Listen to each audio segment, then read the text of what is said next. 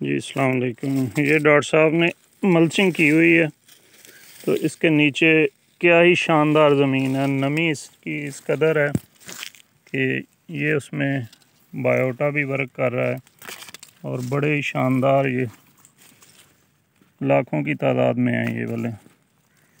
ये डॉक्टर साहब तीसरी स्टेज है ये सही। खुराक की। इसके बाद दो स्टेज हैं फिर बड़े शुरू हो जाते हैं। ठीक है। तो ये समझ लें कि इसके पीछे दो स्टेज पीछे चल रही हैं। सही। ये उसको ये खाने के लिए ये तीसरी है। ये देखें सेंक ये इनको खा रही है। ठीक।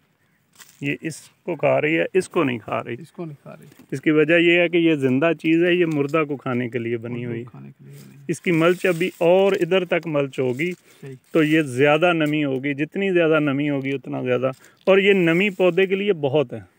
ये बहुत ओके ये नमी इसको इससे ज़्यादा नमी नहीं चाहिए। ये देखें। और ये नमी कहाँ से आई है? ये देखें सुराख बने हुए हैं नीचे। ये देखें। ये, जड़ों को चलने के लिए आसानी फराम करते हैं। हम क्या करते हैं? हम रोटा करके बारीक कर देते हैं ताकि जड़ चल ही ना चल सके ही ना सके। और पानी में डूब कर मर जाए हर चीज़। तो ये ये जो सिस्टम है ना ये पानी इधर से लेके आता है। ਅਗਰ ਪਾਣੀ ਨਾ ਵੀ ਆ ਸਕੇ ਸੁਰਾਖ ਬਣਾ ਕੇ ਉਸ ਤੱਕ ਪਹੁੰਚਾਤੇ ਨੇ। ਉਥੋਂ ਦੀ ਪਾਣੀ ਖਿੱਚੀ ਆਉਂਦੇ ਨੇ। ਉਹ ਪਾਣੀ ਨਾ ਵੀ ਆਵੇ ਤੇ ਇਹਦੇ ਵਿੱਚੋਂ ਦੀ ਜੜ ਉੱਥੇ ਚਲੀ ਜਾਂਦੀ ਹੈ। ਬੱਚੇ ਦੇਖਣਾ